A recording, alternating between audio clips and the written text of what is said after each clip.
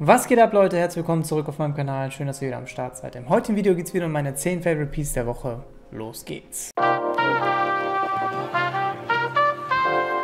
So Leute, wie im Intro schon gesagt, in dem heutigen Video habe ich euch wieder 10 Pieces rausgesucht, die mir im Internet aufgefallen sind, die ich euch wärmstens empfehlen kann, die wirklich sehr nice sind. Vielleicht sucht der eine oder andere ja noch sowas und dementsprechend will ich gar nicht lange drum herum reden und wir fangen einfach mal an mit Piece Nummer 1. So Leute, Piece Nummer 1 ist eine Hose und zwar das Thema Hosen ist gerade, ich sag mal, mehr denn je eigentlich finde ich sehr, sehr wichtig. Früher hat man immer sich nur so beschränkt auf so eine schwarze Jeans, eine blaue Jeans, etc. Aber mittlerweile ist die Facette zu Outfits, zu verschiedenen Style-Richtungen so groß geworden und ich finde Hosen explizit sehr, sehr wichtig und dementsprechend suche ich auch immer für mich neue Hosen, ob's, egal ob es jetzt Vintage-Hosen sind oder neue Varianten. Und da bin ich auf das erste Piece drauf aufmerksam geworden und zwar eine sehr, sehr coole Crop Jog Pants nennt sich die und zwar die gibt es bei H&M. Ähm, was ich daran so nice finde, zeige ich euch jetzt mal hier. Und zwar hat die einen sehr, sehr coolen Fit. Wirkt ein bisschen wie, schon der Name sagt, cropped, aber sie ist nicht ganz so eng, hat so ein bisschen leichten Loose Fit. Die Farbe gefällt mir extrem gut, dieser Mix zwischen beige und braun. Wirklich, also eher so ein dunkelbeige und ich finde sie sehr, sehr nice. Und dementsprechend auch mit dieser Buntfalte vorne. Wirklich eine sehr coole Hose, muss ich sagen. Und für 30 Euro wäre es auf jeden Fall mal wert, sie abzuchecken. Das Coole daran ist, wer die Farbe zum Beispiel nicht feiert, es gibt sie auch noch in schwarz. Dementsprechend kann derjenige auch variieren. Schwarz natürlich ein bisschen vielseitiger einsetzbar, aber mir persönlich gefällt diese beige Variante deutlich besser und das ist auf jeden Fall meine Empfehlung Nummer 1. So Leute, machen wir weiter mit Empfehlung Nummer 2 oder Piece Nummer 2 und zwar ist das ein Pullover.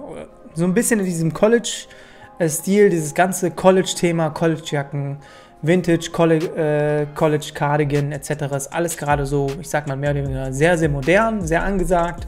Und da gibt es bei Zara so ein, ja, ich sag mal auf so College-mäßig so ein Strickpullover, ähm, der mir aufgefallen ist, der mir sehr gut gefallen hat. Also das Coole daran ist, es ist so reingestrickt, so reingestickt. Also es ist nicht so ein Aufdruck oder ich sag mal eine Folie oder sonstiges oder ein Print, sondern es ist wirklich in den Pullover reingestrickt und das sieht so, ja, hat einen sehr coolen Flair. Also mir persönlich gefällt der sehr gut.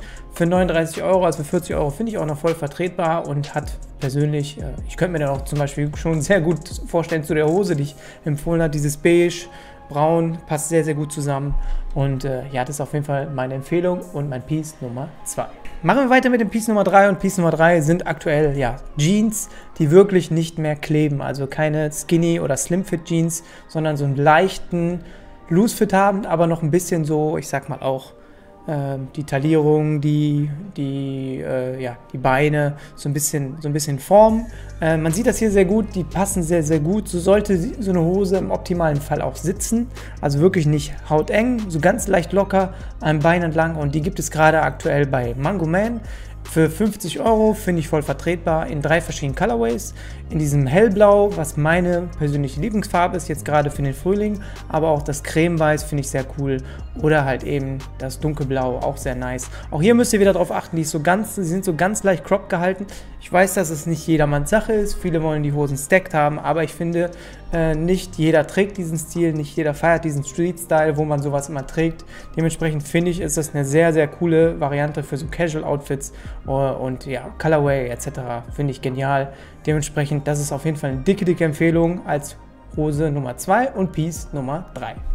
So Leute, kommen wir zu Piece Nummer 4 und Piece Nummer 4 ist ein Pullover, der mir ja von einer meiner Lieblingsmarken, der mir aufgefallen ist und zwar von Gant und ich feiere diese Farbkombo extrem. Also ich mag gerade dieses Oliv, ähm, dunkel, ähm, grün auf jeden Fall sehr. Gerade in Kombo mit diesem Gold gefällt der Hoodie mir sehr, sehr gut. Ich würde euch empfehlen, wenn ihr den so ein bisschen loose fit haben, tragen möchtet, also nicht ganz so eng, weil das Ganze schon, ich sag mal, mehr True to Size ist, dann solltet ihr eine Größe größer wählen. Also wenn ihr zum Beispiel normalerweise in einem Hoodie eine Größe M tragt, nehmt ruhig eine Größe L, dann fittet ihr ein bisschen lockerer, ein bisschen besser, ähm, nicht so ganz so, ich sag mal, eng. Das ist natürlich mehr so in diese Casual-Richtung, aber ich finde dadurch, dass man eine Gro Größe größer nimmt, kann man das Ganze auch so ein bisschen lockerer nehmen.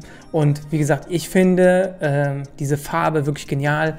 Mir ist zuletzt ähm, ja, keine Farbe so ins Auge gestochen wie dieses Grün aktuell und äh, ja, ist auf jeden Fall eine Farbe, die ich diesen Frühling auf jeden Fall sehr viel einbinden werde. Ich werde mir den Hoodie auch mal anschauen. Natürlich nicht jedermanns Sache, den gibt es auch noch in anderen Colorways, aber ich kann euch sagen, diese grüne Variante ist wirklich eine dicke Empfehlung als Piece Nummer 4. So, kommen wir zu Piece Nummer 5 und Piece Nummer 5 ist, wie soll es auch anders sein, eine Collegejacke und zwar in einem braunen Colorway, sieht man auch nicht so häufig, die es gerade aktuell bei Asus gibt, für fast äh, 63 Euro, knapp 63 Euro äh, und ja, ich finde sie wirklich sehr cool, sehr clean gehalten mit diesem cremefarbenen Bündchen, also ähm, Absetzungen hier, keine große Sache drauf, keine riesigen Prints. Man kann das Ganze natürlich noch ein bisschen individualisieren, wie ich das schon in einem meiner letzten Videos euch auch gezeigt habe, falls ihr dann so ein bisschen, äh, ich sag mal, was eigenes mit reinbringen wollt.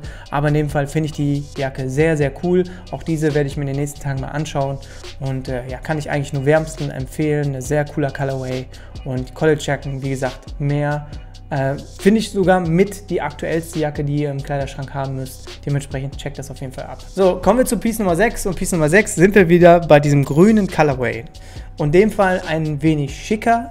Und zwar ein Anzug, den es gerade aktuell für knapp 300 Euro in Combo, also wirklich die komplette Anzug-Kombo bei Suit Supply gibt. Und ich finde, und ich habe selber Havanna-Anzüge äh, von Suit Supply. Die Farbe extrem, extrem nice. Also wirklich sehr, sehr cooler Colorway. Dieses Olivgrün, unheimlich schöne Farbe. Ähm, und das Coole daran ist, man hat so ein bisschen, hier steht das auch, Mix-Match-Varianten kann man wählen. Das heißt, man kann gucken, welche, welche Sakko-Größe brauche ich, welche Hosengröße brauche ich. Da noch ein kleiner Tipp. Ähm, es gibt die normalen Größen. Dann gibt es die, ich sage jetzt mal, die normale Größe 48, quasi eine M.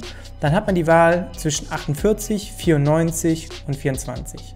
Und hier ist der Unterschied, die 94 ist im Prinzip das Sakko ein bisschen länger gemacht und bei der 24 ein bisschen kürzer. Je nachdem wie euer Körperbau ist, könnte zum Beispiel bei mir, passt ja immer idealerweise die 24, obwohl ich normalerweise ein Typ 48 bin. Dadurch muss ich den Anzug nicht mehr anpassen, ist so eine kleine Empfehlung, so ein kleiner Tipp zwischendurch, wenn ihr euch einen Anzug holt. Bei Süd Supply gibt es diese, äh, ich sag mal, diese Auswahl oft, ist nicht immer dabei, aber sehr häufig und dementsprechend checkt das auf jeden Fall ab. Wenn es sowas gibt, wählt das oder zur Not bestellt einfach zwei Sakkos, sodass ihr da ein bisschen variieren könnt. Das andere könnt ihr ohne Probleme da zurückschicken. Ich habe schon mehrfach Sachen bei Suit Supply zurückgeschickt und die wurden ohne Probleme angenommen und äh, ja, quasi retourniert. Äh, gar kein Thema. Dementsprechend sehr, sehr dicke Empfehlung dieser Anzug idealer Colorway, sehr nice. Man muss das nicht mit Grau kombinieren, man kann das auch mit Weiß kombinieren. Und mir gefällt der wirklich sehr gut. Und wer sowas sucht, mal ein bisschen was anderes als dieses typische Blau, Grau und Schwarz, hier habt ihr einen schönen Anzug. So Leute, kommen wir zum nächsten Piece und das nächste Piece ist eins meiner latest Pickups uh, und die kann ich euch wirklich wärmstens an, ans Herz legen und zwar ist das eine, meine neue Uhr von Captain Sun. Uh, eine sehr, sehr schöne, cleane, hochwertige Uhr, muss ich sagen, für 169 Euro, die ich im Moment uh, quasi bekommen habe und ja, kann ich euch wirklich wärmstens empfehlen. Die gibt es in verschiedenen Colorways, aber in dem Fall habe ich genau diesen Colorway selber am Start. Ja, ich habe da eine Kooperation mit. Das hat jetzt nichts mit YouTube zu tun, sondern äh, generell einfach auf Instagram bin ich gepartnert jetzt mit Ketten Sun. Ich dachte, ich nehme das einfach mit rein ins Video, weil ich diese Uhr wirklich guten Gewissens an euch weiterempfehlen kann. Sie ist sehr hochwertig, sehr clean im Design. Natürlich ist es keine Rolex, aber es ist auch kein Preis Preisvergleich. Es ist wirklich eine sehr schöne clean Alltagsuhr, die ich wirklich jedem nur empfehlen kann. Wer sowas sucht, checkt die gerne ab. Ja, auf jeden Fall eine dicke Empfehlung auch an dieser Stelle. So Leute, kommen wir zum nächsten Piece und das nächste Piece besitzt sich auch. Und zwar ist das eine, ja, eine, eine Übergangsweste von Canada Goose. Ich habe die allerdings in schwarz und weil ich diese Weste wirklich so sehr liebe, gerade in Kombination mit einem Hoodie und dann, ich sag mal, einer lockeren Hose, ein paar Sneaker etc. oder äh, mit einem Rollkragenpullover und ein paar Boots, schwarze Jeans, Boots, kann ich euch diese Weste wirklich wärmstens ans Herz legen. Vielleicht Vielleicht solltet ihr darauf nochmal auf den Sale warten. Aber wer sowas sucht, ist wirklich eine sehr, sehr geile Weste, die es aktuell bei Mr. Porter gibt. Ähm, wir gehen auf das Thema im Ausland bestellen gleich nochmal ein, weil ich hier hinten habe ich nochmal zwei Stores raus, rausgesucht, wo ich euch aktuell nicht davon abraten muss, aber da ist jetzt quasi, ja, quasi ein Haken entstanden durch den Brexit sodass ihr da wirklich aufpassen müsst und wo mir schon viele Leute per Direct Message auf Instagram geschrieben haben, dass ihr da äh, wirklich vorsichtig bestellen sollt, beziehungsweise mit extra Kosten. Aber wie gesagt, wir gehen da gleich nochmal drauf ein. Ähm, dementsprechend, ich bin mir ziemlich sicher, dass es beim Mr. Porter nicht der Fall ist. Hundertprozentig kann ich euch das nicht sagen, aber äh, ist mir zum Beispiel nicht bekannt. Falls, könnt ihr mich gerne unten in den Kommentaren berichtigen, dann werde ich da äh, nochmal darauf hinweisen in meiner äh, Beschreibung. Aber soweit ich weiß, könnt ihr wirklich ohne Probleme bei Mr. Porter bestellen. Dementsprechend hier eine dicke Empfehlung. Ähm, ja, sehr coole Weste, die es gerade bei Mr. Porter gibt. So, dann kommen wir zum nächsten Premium Online Store, wo ihr auf jeden Fall auch ein sehr, sehr cooles T-Shirt bekommt, was mir persönlich auch sehr ins Auge gestochen ist. Und zwar ist das äh, ja von äh, Gallery Department. Ein sehr cooles Sommer-T-Shirt, muss ich sagen. Ich äh, könnte mich da selber drin sehen. Allerdings ist, glaube ich, meine Größe ausverkauft. Ich bin so mehr der Typ L mittlerweile. Äh, nicht, dass ich zugenommen habe, sondern ich trage die T-Shirts einfach ein bisschen lockerer mittlerweile. Ähm, und ja, es gibt leider nur noch S, M, XL und XXL, aber ich finde das T-Shirt sehr genial von Gallery Department, was es gerade bei Farfetch gibt. Ich kann euch sagen, bei Farfetch werdet ihr keine Probleme haben, wenn ihr äh, hochwertige Sachen im Ausland bestellt. Es kommt quasi aus Italien, dementsprechend da gilt dieser Brexit-Sonder. Äh, dieses Sonderproblem auf jeden Fall nicht. Und ich finde es ein sehr geniales T-Shirt. Könnt ihr auf jeden Fall abchecken. Das findet ihr als Piece Nummer 9. So Leute, und dann kommen wir zum Piece Nummer 10 und Piece Nummer 10 dachte ich, ich nehme nochmal ein sehr cooles Basic mit rein, leichtes äh, Oversize-T-Shirt, was ein bisschen boxy geschnitten ist. Und zwar von Uniqlo, die sind da, ich weiß noch nicht, noch nicht allzu lang am Start. Und zwar diese Airism, ähm, das ist so ein bisschen so ein besonderer Stoff, den es bei Uniqlo gibt. Für 15 Euro ein sehr cooler, fairer Preis und dieses T-Shirt gibt es in verschiedenen Colorways. Äh, mir persönlich gefällt dieser Cremeton, weiß natürlich sehr gut, auch dunkelblau finde ich sehr nice. Und man hat dann so ein bisschen die Qual der Wahl. Da würde ich euch wirklich empfehlen, True to Size zu gehen, also eure normale Größe zu wählen, ob es jetzt M, S, L oder XL ist, je nachdem, was ihr braucht. Geht auf, auf keinen Fall eine Größe größer und dementsprechend sehr cooles T-Shirt, sehr cool geschnitten und das ist, ich sag mal, relativ neu bei Uniqlo am Start und dementsprechend auch hier eine dicke Empfehlung und das ist mein Piece Nummer 10. So Leute, und dann kommen wir zu zwei Stores, wo ich immer sehr, sehr gerne gucke, die mir aber jetzt aktuell, die ich wahrscheinlich von meiner Liste erstmal streichen werde. Äh, ich hoffe, dass da in Zukunft irgendwie ein Abkommen geschaffen wird. Und zwar ist das Matches Fashion und Endclosing, beides quasi UK Stores. Und ich gucke immer gerne auch in den UK-Stores immer wieder gerne rein und finde auch oft Sachen, gerade auch bei Endclosing, die ich euch wirklich wärmstens empfehlen kann. Aber das jetzt durch den Brexit das Problem, je nachdem, wo ihr bestellt, zum Beispiel in UK, habt ihr einfach das Problem, dass ihr jetzt Zoll bezahlen müsst. Das ist das gleiche, jetzt würdet ihr in den US äh, bestellen. Ihr müsst einfach Zoll bezahlen und dadurch werden die Sachen immens teuer. Und dementsprechend kann ich euch nicht davon abraten, aber euch darauf hinweisen, dass ihr darauf achtet, falls ihr euch sowas bestellt, müsst ihr mit extra Kosten rechnen. Und dementsprechend, ja, ist das auf jeden Fall mal meiner Meinung nach wirklich sinnvoll, Leute darauf hinzuweisen, dass wenn ihr euch sowas da für sowas entscheidet, müsst ihr einfach mit extra Kosten rechnen. Ist eine sehr, sehr bittere Pille. Ich finde es wirklich sehr traurig, dass da kein, ich sag mal, Abkommen mit der EU äh, gefällt wurde, dass das Ganze irgendwie äh, ja, keine Ahnung, zollfrei etc. ist. Aber ja, müssen wir leider aktuell mit leben. Ich hoffe, dass sowas in Zukunft irgendwie geregelt wird, weil dadurch auf jeden Fall immense Einbrüche, ich sag mal Umsatzeinbrüche entstehen werden bei vielerlei Hinsicht, vielen Stores.